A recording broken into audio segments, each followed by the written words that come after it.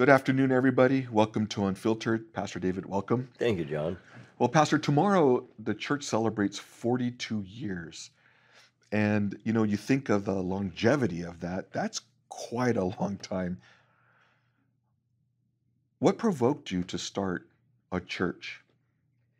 Well, I wanted to be famous. no, I'm sorry. I'll give you the short version, of course, because tomorrow we may we may talk a little bit more about it. We obviously will, because it's 42 years. But I um, I, I I sensed a call to teach the word, and the doors had been closed in the place that I had been, and not having a sense to go uh, to work full time in any other field, because I had a great and distinct sense of a calling to pastor. Um, I resigned my position as an assistant in another Calvary ministry, and by the um, the request of my sister-in-law, Patty, who at that time was Patty Lopez, she's Marie's uh, sister. At her request, because she said, "Where are you going to go to church?" and I said to her, "We haven't decided yet." Because it was a fresh decision, she said, Will you teach me until you find a place? To to meet uh, at, at you know go to church and i said of course and that's how our church began. So i always look at the beginning of our fellowship as a call to one person.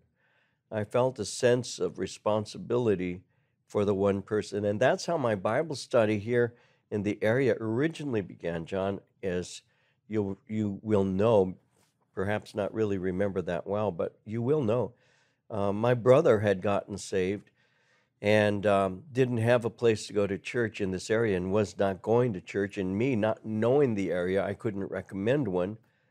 So when my brother got saved, my sister and I began to drive out into the city of Ontario to teach him. And that's what got me in the area in the first place because I'm from Norwalk originally. I was doing a home Bible study in Norwalk and I added a second one, and that was to come out into this area and to teach my brother.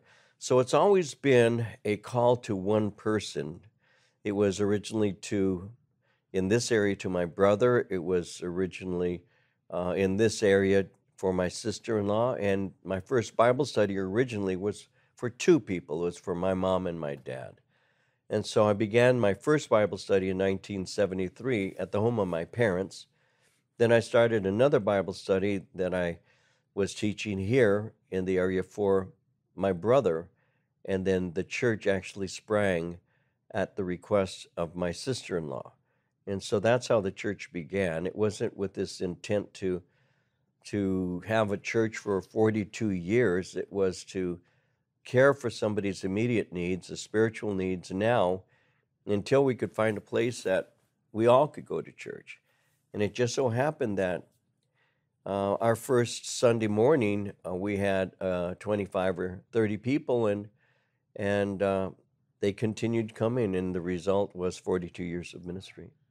Now, looking back today, back 42 years ago, would you have ever thought that you would, you and Marie would be on the threshold of celebrating 42 years? No, John. You know the interesting thing is, is I, I never have been caught up with um, the idea of to plan out in precise ways what's going to happen next week, next month, next year. I never had that kind of thing. I don't have a strategy, I don't have a, a plan. There are those who do, and they do very well. They know what they want to do, they go about to accomplish it. You know, very often what they do is hire teams to make sure they go before them to make sure people know their names so they can accomplish their deeds and all of that. And uh, I just never did that. I I, I kind of felt that that if I were was faithful, that the little things God would give to me uh, greater things, and so I never really felt that I was going to have a forty year plan. I mean, who who knows? I'd never remained faithful in any job for more than a few months, you know, maybe a year.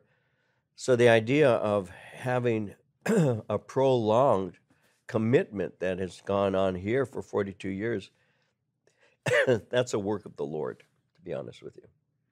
No, I mean, you think about, you compare it to a secular job, and you know, in, in those days, 36 years at one position was quite an accomplishment. We're talking about 42 years of a church. Well, you're looking at 42 years, yeah, and some marriages don't last that long. Some relationships don't last that long. I mean, if I were just in a secular organization, I'd be retired by now because it's work. In the work of the ministry and the labor ministry, it does, it does, and it does have uh, limits like that. You get to a point where you can't do it anymore. But at this point, we haven't gotten there. Amen.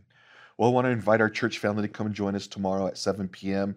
in the sanctuary as we celebrate 42 years. There'll be special music for worship. Yeah. We'll have a time where we sit together and have a Q&A uh, over the years of 42 years here. And what a great, great thing the Lord has done. And so I want to invite you guys to come on out. And Pastor, thank you so much for being faithful to our church. Well, of course. And thank you guys for tuning in. We look forward to seeing you tomorrow. God bless you.